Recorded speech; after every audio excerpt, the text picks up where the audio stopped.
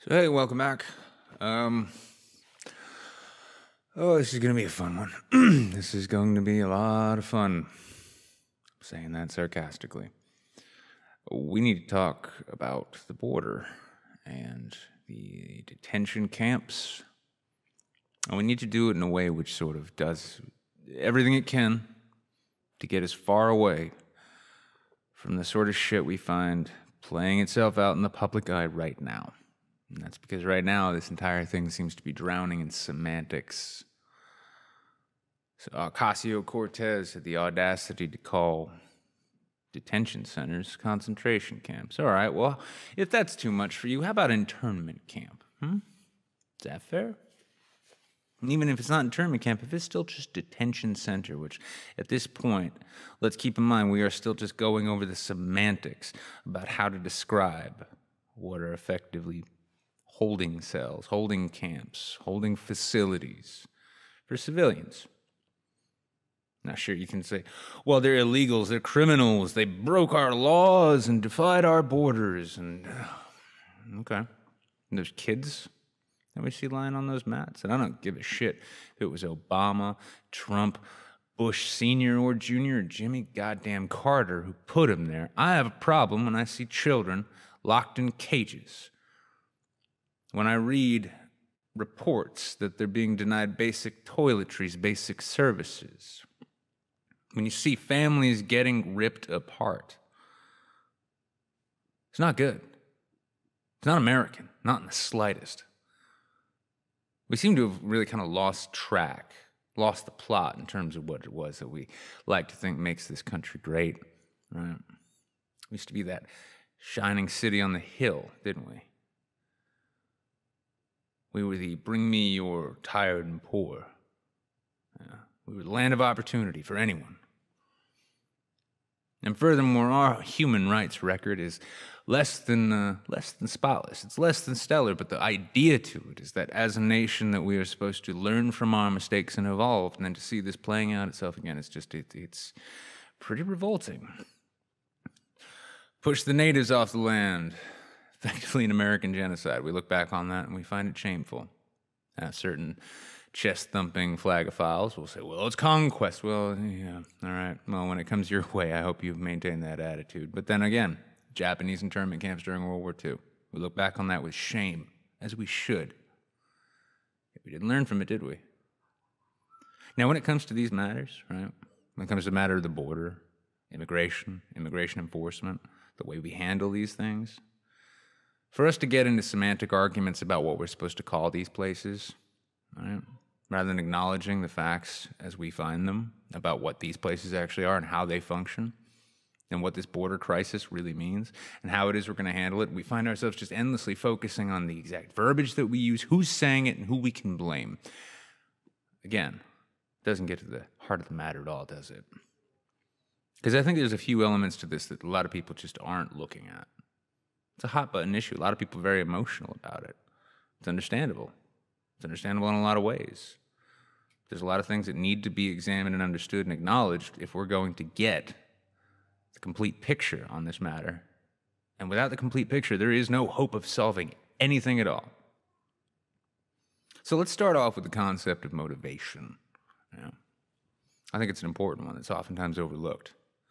Something which is overlooked for a number of reasons, and if it is examined, it's examined for the wrong reasons or under the wrong perspective, in my opinion. Now, this goes to a little bit of an anecdote. Years ago, I used to work in a pizza kitchen at a place called Bertucci's. It's a New England brick oven pizza chain, typically the kind of place you'd find in the mall. Parents bringing their kids for back to school shopping or Christmas shopping flood into these places. Really good food, too. And on a side note, if you ever have the opportunity to eat at Bertucci's, give it a shot. I stole a lot of recipes from that. I make it home now. I do them better now, but uh, beside the point. so when I was there, I was a cook. When I was a cook there, the majority of the kitchen staff I worked with were immigrants, mostly Dominican. Um, I think a couple Bolivian dishwashers. Majority Spanish speaking kitchen, right on the border in Salem, right on the border in Massachusetts. And one of these cooks was a Brazilian fellow.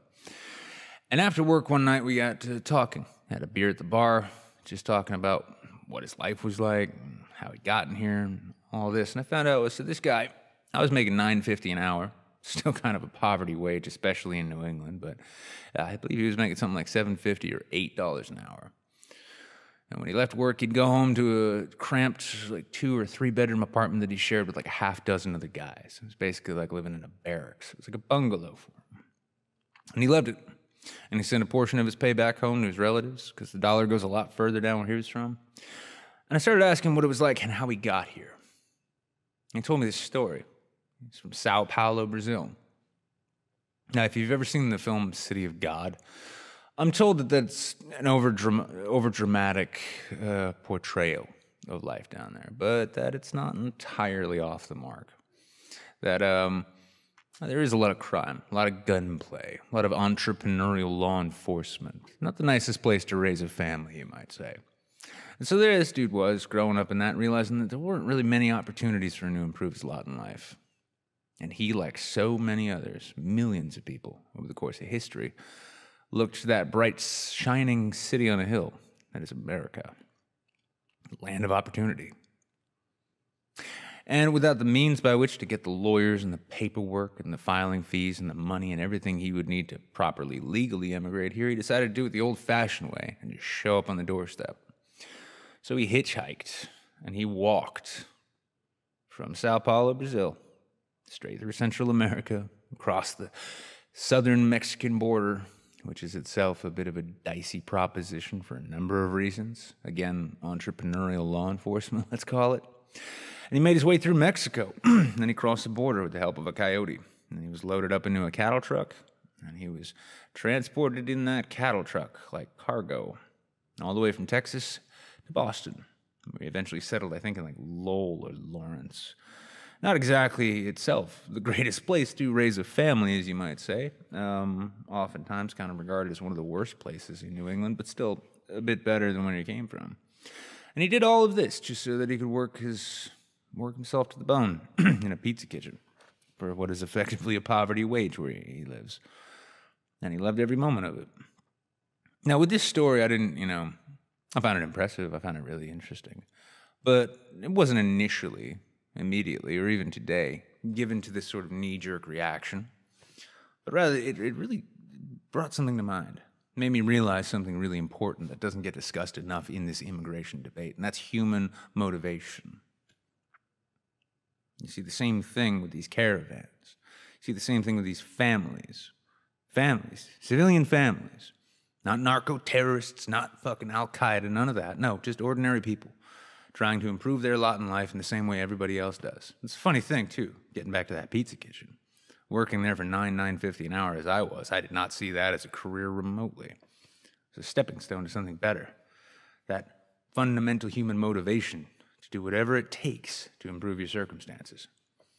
Now I bring this up not even hoping that the you know, staunch border security enthusiast types, the build the wall types, are gonna like somehow see a common humanity here. I'm past even that. More a matter of practicality. You have people, ordinary civilian people, who will put it all on the line just to come here and effectively, by most of our standards, eat shit. You know? As a reason, chicken is so cheap.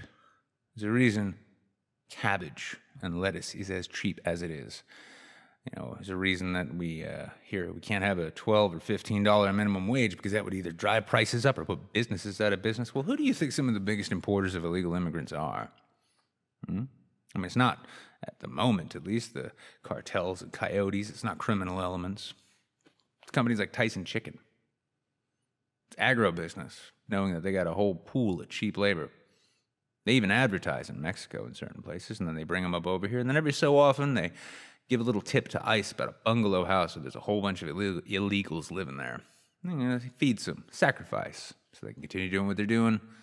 Border enforcement and ICE can feel as though they're doing what they're supposed to be doing, and everyone else is happy. And we all get to continue eating cheap food because it's produced by cheap labor. It's a kind of curious thing, then, isn't it? We're supposed to be told like, oh, these are jobs Americans would take if they would. Do you really? Do you think so? Do you think your average American would take seven fifty an hour to toil in a field pulling cabbage? And the moment they did, don't you think they'd start demanding and expecting more because we have quality of life that we expect here? We're Americans, not peasants. And when they started banging on and unionizing, demanding higher wages and the like, well, wouldn't they just have robots? It's curious why robots aren't doing all the work in Tyson chicken factories, isn't it? But all the same, these people will risk life and limb. They'll put it all on the line to get here, just so they can do that. So Maria, the housekeeper at Days Inn, can clean up your human stains pennies on the dollar, just because she knows that her kids will maybe get to go to an American school and have a better shot at a better life. Now, whether or not you respect their decisions, whether or not you want to shake an angry fist calling them criminals and invaders and all of that, if you can't understand and see the, the, common humanity and that kind of motivation, putting everything on the line to improve your circumstances and to improve the potential future of your offspring, well, you're not really getting the point. Because that same motivation is what keeps driving them here. Regardless of even when they know that they'll end up in detention camps as they have, that they could be torn apart by their families, that motivation is still so strong they will take that risk. Because they risked a whole lot more on their way to get here. And they know that if they can keep their heads down, that maybe they might be one of the lucky ones who slip under the wire and actually get that chance to live a better life. Now, we could go into all of the multinational corporate games which tend to prop up dictators and shitty politicians and shitty, altogether, parties in these places, as they do in South and Central America, as they have done in Southeast Asia, as they've done in parts of Africa and the Middle East, constantly causing strife and conflict in places that are resource rich, resource rich, which ought to be flourishing, but they're not. But all the same, these people risk everything to get here. Do you really think a wall is going to stop them? Do you think troops and drones is going to stop them? And just like every other element when it comes to the notion of prohibition that's centered around something which is ingrained as a basic human motivation, whose hands do you think that this need will fall into? Who do you think will become enriched and empowered as a result of the need to get additional help in circumventing the walls, the drones, the troops, the militias? Because for all the shit we've done, hasn't stopped them yet, has it? In fact, the only thing that's ever stemmed the tide of immigrants trying to come to this country has been when our economy was racked because we let the banks get out of control. But we'll bail them out. Oh, yeah, we'll throw billions of dollars at banks when they destroy our economies, leading to situations in which immigrants looking for better lives don't even bother coming here because they're worried that it's not going to be worth it. Are you starting to see the point yet? Are you starting to see that just like so many of the things that we so oftentimes wish that we could just wage a war on to put an end to, that doing so will only inevitably make the situation more complex? Empower bad actors in that sense. But no, let's not think too deeply on that. Let's not think too deeply about the fact that the kids lying in those pens, whether it was Obama that put them there or Trump or I don't give a damn who, let's let's let's let's overlook the fact that those are still human beings. They're not just migrants. They're not just undocumented illegals or anything like that. They're human beings brought here by human motivation. Nothing nefarious, just a desire for a better life. Let's even look past all that. Let's keep focusing on this semantic shit. Yeah. Let's blame. Let's let's figure out what parties to blame. Let's figure out what individual politicians to blame. Let's let's keep focusing on what words we use rather than actually looking at the fundamental objective realities that we're faced with, such as the overwhelming reality that human nature, human motivation and desire is going to make this a problem regardless of what we do and that we can't fight our way out of it any more than we can just open up the border entirely and say, anybody who wants to come can. Because we know that's not feasible either, is it? We do need to control the flow of people who come into this country. Otherwise, we will be faced with an overburdening and overtaxing of our basic infrastructure and services. And we'll find the value of often different types of labor driven down. But what is it? What's the solution? Where's the management come in? Because I'm not hearing a lot about that. I'm hearing shit flinging matches about who's to blame. I'm hearing build the wall and put guns on the border because that's a real American thing, isn't it? Fought a whole Cold War against the Soviet Union so that we could maintain our freedom and not have to prove ourselves and show papers when we travel, and not have to have our country surrounded by guns constantly pointed outwards at every conceivable theoretical threat we've got. No. That's not the American way, is it? Because we can wrap ourselves in the flag all we like, but it's not going to make bad decisions any better because we've made bad decisions in the past and we're supposed to have learned from them.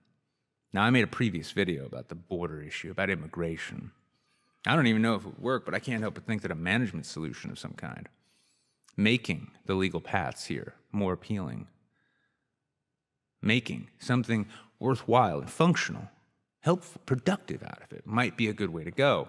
Now, I say this because I also recently saw on the news here, right here in New Hampshire, you know, right here in New Hampshire, because of this anti immigrant hysteria, which seems to be growing within certain portions of our political populations, because of the sort of ideological pushes that certain parties are pushing for, there are a handful of veterans, military veterans, men who signed up to the U.S. military in wartime, deployed overseas to go and serve in wartime to serve this country, who did so because they were offered a path to citizenship through military service.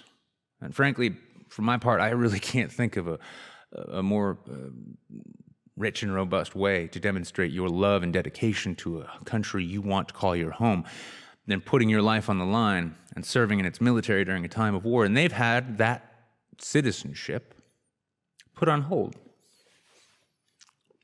It's put on hold because of Trump administration policies right now. Now, that is frankly disgusting, but at the same time, it also does bring us once again back to the question of human motivation. Because one thing that has been getting under my skin quite a bit with the uh, ultra nationalists who seem to be really loving on this issue, they really love harping on this issue of immigration. From my perspective, somebody who serves in the military, or somebody who risks life and limb just to come to this country so that they can live at the most basic bottom level of the society that we have here demonstrates a hell of a lot more love and dedication to this country than somebody who just happened to fall out of their mother over its soil. Talk about flag burning. We seem to have no problem the same people who are probably on board with banning that, turning it into blazers and hats and underwear. Hmm? Ask yourself, what kind of Americans do we want? Do we want those who are dedicated to the country, or do we simply want natives? It's really hard to say, isn't it? Especially given our history. If we're going to find ourselves addressing this issue productively, seriously, in an actual practical manner, we're going to have to get beyond these semantics. We're going to have to get beyond this partisan shit. We're going to have to start analyzing honestly what's driving immigration and figure out ways to manage the flow rather than put an end to it. Because we waged a war on drugs and it didn't work. We tried alcohol prohibition, it doesn't work. And I'll tell you this much if you ban abortion, there's going to be a whole lot of black market clinics back alley, wire hanger abortions going on. All of these things. It all comes back to escalation and the nature of motivation. I still think that a national service corps would be a damn fine idea. Instead of paperwork and tests and monies and fees and filing fees and lawyers and court hearings, give them a program. Put together a program. Semi militaristic basic ass bungalow housing for applicants and their immediate families, visa, green card status while they're here. They'll be put to work doing things like disaster relief. Have more and more disasters, don't we? We always seem to be arguing over whether or not anything should be done to help with the relief efforts. Well, if you've got a if you've got a ready service of people who are coming here and they'll do anything to live here, and they're willing to actually go into these programs in exchange for that, or alternately military service, same thing. Service for citizenship. What's wrong with that? Get all the bureaucracy and nonsense red tape out of the way. Because I'll tell you this much. If a program bringing them in the way Tyson Chicken does, which utilizes coyotes so that they can go work for poverty wages that are well below the minimum wage in chicken plants just to be offered up to ICE every so often, so that everyone can save face and look like they're doing their jobs. If they can manage to do that, why can't we do it in a productive way that actually serves this nation? That lets the people who want to live here and be citizens here demonstrate their worth by giving us service. And in the meantime, we can even have we can even offer them and their families things like education in how the basics of our society work, about uh, the differences between where they're from and where they are now. We can have them go into English language courses because that's always a big contention, isn't it? We got to save the English language. Even though I'm not of the opinion that the language of Shakespeare really needs saving. All the same, when I see this debate raging on, there is so much raw emotion and so much nationalistic chest thumping and ideological terror stomping. I don't really see a solution till we're able to actually calm down and reevaluate the situation on the grounds by which it actually exists. Those being the motivations of the people who are trying to come here, how far they're willing to go to get here, how much they're willing to risk to get here, and what, honestly, what kind of deterrence could potentially dissuade them given what they're already facing and then at the same time, to acknowledge the fact that they are going to continue to stream here because this is, to them, still the shining city on the hill, the promised land, the land of opportunity. And if maybe instead of trying to find ways to even just feel good by letting them all in and dealing with the consequences, or alternately fighting our way away from it and erecting giant walls and putting guns and drones and shit on the border, maybe finding a way to actually turn this all to our advantage because this nativist nationalistic mentality that I see dominating one side and the proposed open borders, wide eyed idealism on the other is not going to get us anywhere. And in the meantime, the human beings whose lives, human beings whose lives are being held in the middle, they're being erased. They're just turned into statistics, they're turned into talking points. And that's not the America I know. That's not America at all. We're supposed to be better than the people who did this before, which is why we opposed them. Let's try and remember that. Let's try and figure out a better way forward.